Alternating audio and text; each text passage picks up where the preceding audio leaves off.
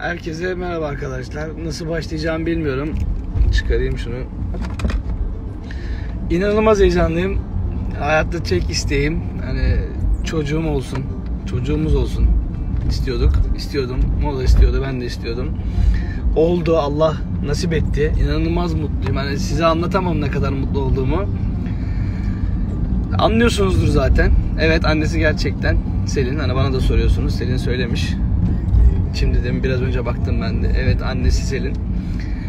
Ee, kendine pay çıkarmak isteyen insanlar var. Arkadaşlar ben öncelikle şunu söyleyeyim. Çok fazla konuşamam. Konuşmayı da beceremem çok fazla. Kusura bakmayın. Valla sakın bizi çocuğumuzla denemeye kalkmayın. Bir insanı çocuğunla denemeye kalkmayın. Hiç kimsenin çocuğuyla sakın denemeye kalkmayın. Hani siz konuşursunuz. Kızım için neler yapabileceğimizi, neler yapabileceğimi aklınıza bile getirmek istemezsiniz. Hani siz konuşursunuz ama ben kızımın üzüldüğünü, ben kızım için üzülürsem neler yapabileceğimi konuşan herkes tahmin etsin.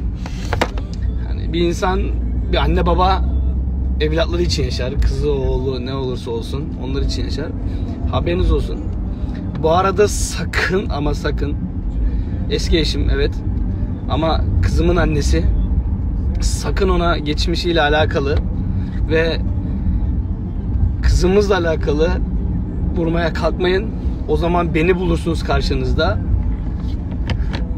Hem de hiç beklemediğiniz gibi bulursunuz. Haberiniz olsun. Sizi çok seviyoruz. İyi mesajlarınız için hepinize çok teşekkür ederiz. İyi ki varsınız.